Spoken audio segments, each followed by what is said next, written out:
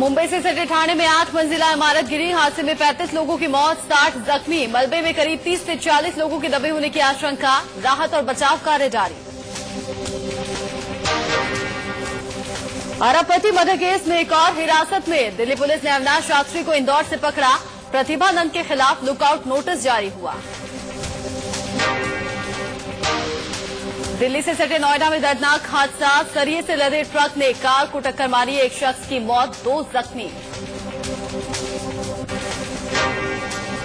कुंडा के CO murder case में CBI ने राजा भैया को पूछताछ के लिए बुलाया। नोटिस जारी कर एक हफ़्ते में पेश होने के लिए कहा।